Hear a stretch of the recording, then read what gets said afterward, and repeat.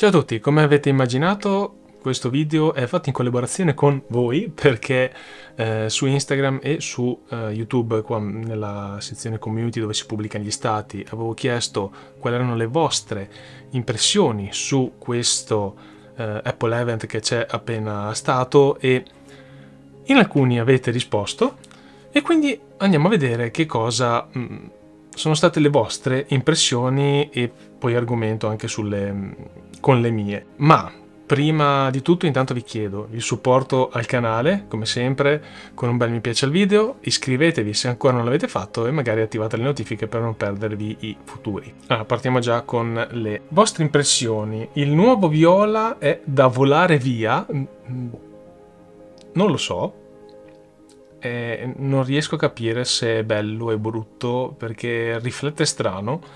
Ho guardato anche reel, storie e quant'altro di mm, gente che era fisicamente là a Cupertino a vedere i nuovi dispositivi e mh, mm, ha dei strani riflessi. È molto scuro come viola, con alcuni riflessi sembra quasi azzurro, blu, in altre situazioni sembra quasi nero. È molto particolare. Altra considerazione è peccato per Watch 8 non squadrato e con prezzo maggiorato.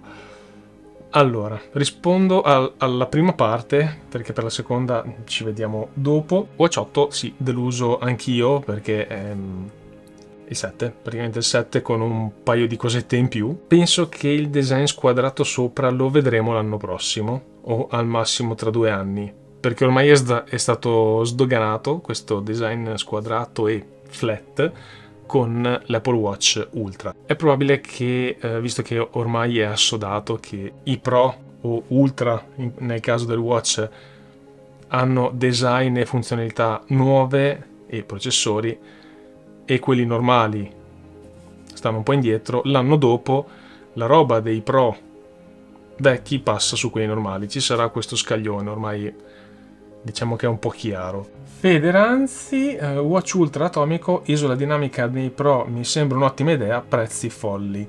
Anche qui per i prezzi dopo. L'Apple Watch io l'ho detto subito, appena l'ho visto ho pubblicato una storia. Mi ero innamorato, mi sono innamorato, quell'orologio è una figata totale, totale, per me. Poi chiaramente c'è gente che dice ah, non serve una mia a me piace, è bello e non sarà magari per certe cose livelli di mm, sport watch dedicati che fanno solo roba per lo sport, soprattutto per la batteria, ma però è un primo passo di Apple nell'ingresso in quell'ambiente ed è ostico vista la concorrenza, soprattutto di nuovo lato batteria. La Dynamic Island sì, tanto bella. Ha automaticamente reso vecchi anche i 14 lisci. Cioè tu prendi, tu ipotetico, prendi un iPhone 14, adesso lo prenoti, sapendo già che in giro c'è qualcosa col design aggiornato. Cioè compri qualcosa di già vecchio praticamente. Eh, boh. Tra parentesi, non so se si è capito, sconsiglio l'acquisto dei 14 lisci. Black Blood 70618 ho un Apple Watch 6 del 2020 o 21, non ricordo, ok, quello. Secondo te conviene passare all'8?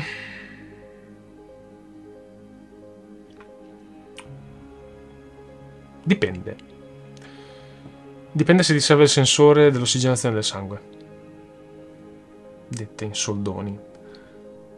Perché io non sono un fan dell'Always On Display neanche sull'Apple Watch, infatti lo vedete che è appena lo giro si scurisce perché ho disattivato l'Always On nel Serie 7 e anche nel Serie 6 l'avevo disattivata perché se sto così non mi interessa che si veda lo schermo a me interessa che se faccio così per guardare l'ora la vedo io. Cioè se non ti servono quelle funzionalità per la salute che sono l'ossigenazione del sangue e le altre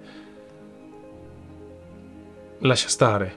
Però se sei una donna e ti interessa il sensore di temperatura per l'ovulazione, ecco allora sì, l'Apple Watch 8 acquista molto senso.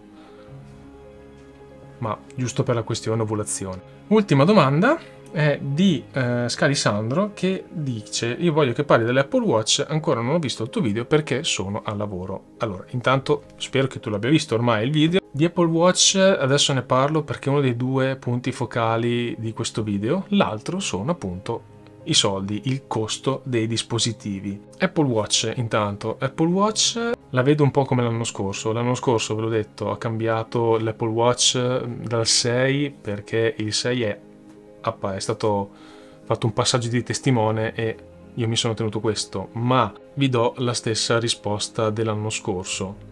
Non vale la pena fare l'upgrade. Abbiamo un Watch 8 che ha di diverso dal 7 sensore di temperatura per l'ovulazione e eh, come penso possiate immaginare non sono vagina munito, quindi di quella questione non me ne faccio niente e così come me tutte le altre persone di sesso maschile non se ne fanno niente di questa funzionalità perché da come è stata messa giù è prettamente per la temperatura corporea per l'ovulazione, poi magari si scopre che funziona anche per altro, però attualmente è incentrata su quello. E il crash detection mm, ha senso ma soprattutto se puntate a prendere un iPhone della serie 14 per il resto no. Non, non, ha assolutamente senso fare l'upgrade. Non ho finito per la questione Apple Watch perché è un po' un ponte tra la questione Apple Watch e eh, questione monetaria. Apple Watch Ultra con i suoi 1009 euro. Allora come ho detto nel, nel, video di recap, teniamo conto che se io vado a cercare un Apple Watch serie 8, Apple Watch 8 con cassa in acciaio siamo a 909 euro, cassa 45.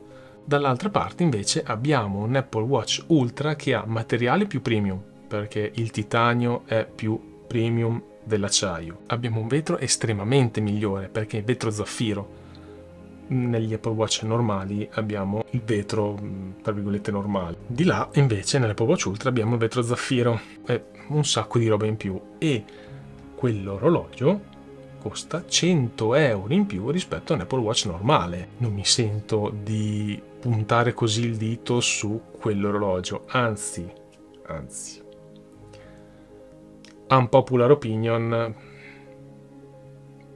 è il suo prezzo, ci sta come costo potevano semplicemente avanzare quei 9 euro e fare 1000 tondi, ma vabbè. E, però per il resto secondo me è il suo prezzo, anzi non è neanche così eccessivamente esagerato, visto quello che porta e i materiali usati. Ho parlato, l'ho, de- detto, dovevo tirarmelo fuori sta cosa.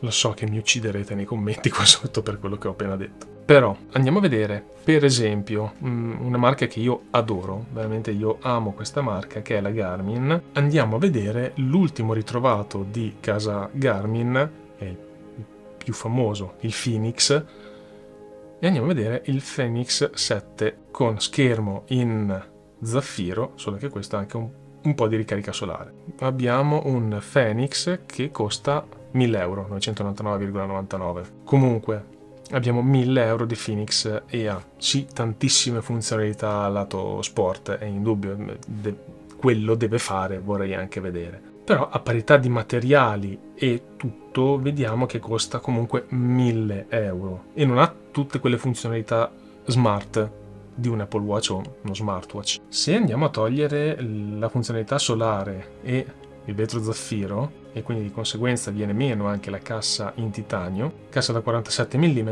andiamo a 700 euro. Non è che ci distanziamo più di tanto da un Apple Watch in questo caso. Apple Watch 45 avevamo detto che costava 909, qui costa un pochino di più. Per assurdo è sovrapprezzato la versione in acciaio, non l'Ultra. Torniamo a parlare della questione economica perché in realtà qui è stata sollevata la questione per i prezzi soprattutto in merito all'Apple Watch, ma più anche in realtà generica. Non è colpa di Apple, eh, tra tante virgolette, se i prezzi si sono alzati qui in Italia e in Europa, perché in realtà in America sono rimasti gli stessi dell'anno scorso. è il cambio che ci frega, sono le tasse diverse che ci fregano. E loro, il, il loro lo hanno fatto. Hanno tenuto gli stessi costi. Poi che tutta la filiera faccia sì che i costi aumentino, eh, purtroppo Apple ci può fare ben poco. E ricordo sempre che i, i prezzi presentati in presentazione sono esentasse. Pe per esempio, se io dovessi fare un conto, quelli che vengono chiamati perlomeno qui nel, nel modenese i conti della serva, abbiamo un Apple Watch Ultra che sta a 799 dollari da presentazione. Quindi andiamo a fare 799 per 22 diviso 100, che è banalmente solo l'IVA, abbiamo 175,78. Andiamo a sommarli a questi 7,99 dollari e abbiamo 974 euro solo di IVA. In più c'è da aggiungere trasporto e bam bam bam. Quei 30 euro si fanno in fretta a far su, eh ragazzi, vorrei dirvelo. Quindi in realtà non mi sento di accusare così tanto. Purtroppo la situazione è quella che è e non si può neanche pretendere che un'azienda si accolli il, ehm, l'inflazione e tutto quello che sta succedendo in questo periodo. Apple, come le altre aziende, non sono delle onlus. E sto parlando da persona che è andato a vedere i costi in euro ci è rimasto veramente male e chi ha visto il video di due giorni fa lo sa, ci sono rimasto veramente corto con quei prezzi che ho visto. Però ragionandoci a sangue freddo, ehm, purtroppo la situazione è questa. E non possiamo pretendere che Apple o chi per lei, che sia Samsung o quant'altro, perché tanto aumenteranno tutti, assorba eh, il male che sta succedendo. E basta col pippone, basta. Quindi le cose importanti ve le ho dette a inizio video per far crescere il canale e aiutarmi ad andare avanti. E basta, ci vediamo settimana prossima con un prossimo video. Ciao ciao!